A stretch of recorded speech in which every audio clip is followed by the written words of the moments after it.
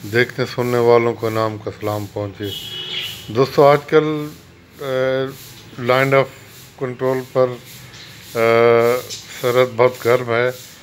तो Indian army Indian media आ, अपनी वो पुरानी रविश अख्तियार कर रहा है कि फेक वीडियोस चलाई जा रही हैं। फेक वीडियो चलाने से पहले कम अज़ कम दो बातों का ख्याल रख लेना चाहिए। नंबर एक कि वो जो बैकग्राउंड है आ, वो किस किस्म का है? ये एक सीरिया की तस्वीर को फ़ोटोशॉप के ज़रिए कश्मीर दिखाया जा रहा है। इसमें जो बुनियादी गलती भारतीयों से हुई है वो ये है कि जो आ, सीरिया का इलाका है उसमें दरख्त घने नहीं हैं। वो तकरीबन खुश्क इलाका है। वहाँ पर पहाड़ सब्जे से ऊँचे दरख्तों से तही दामन है।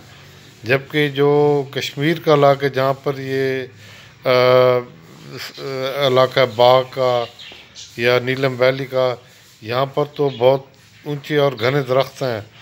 तो ये पिक्चर ही बता रही कि ये फेक फ़ोटो, फ़ोटो लिए गए हैं। ये वैसा क्यों होता है?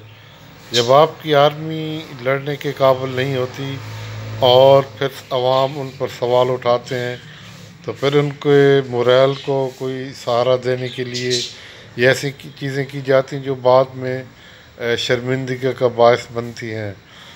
जैसे उन्होंने अटैक किया था तो हमारे दरख्त गिराए थे, और बाद में अपने दो जहाज़ भी तबाह करवा लिए, और फिर अपनी दलेरी का राग लापते रहे। पाकिस्तान में जो लोग हैं ये इंडियन को पता नहीं है कि ये ज़िंदगी और मौत में ज़्यादा मोहब्बत किससे करते हैं? पाकिस्तानी अफवाज और पाकिस्तान के लोग जो मुंबई वतन है, उनको मौत ज़्यादा अज़ीज़ होती है। सिवान चंद लोगों के जो नाम तो मुसलमानों के, लेकिन उनका अमल मुसलमानों वाला नहीं। तो पाकिस्तान में कोई भी शहीद होता है तो उसके अखबार और टेलीविज़न पर आप उनको गिन सकते हैं।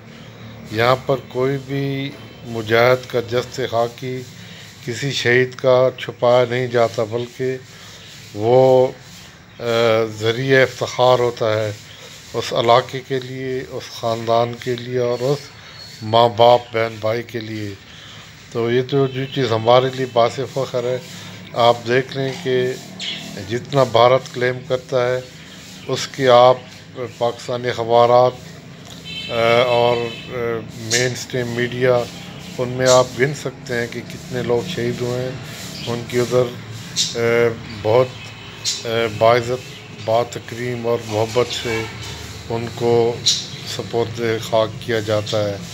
तो ये जो चीज़ हमारे लिए बास अफ्तार है, उसको छुपाने की हमें क्या ज़रूरत बढ़ा सकती है? तो आगे देखते जाइए, जाए कि भारत के साथ क्या होता है।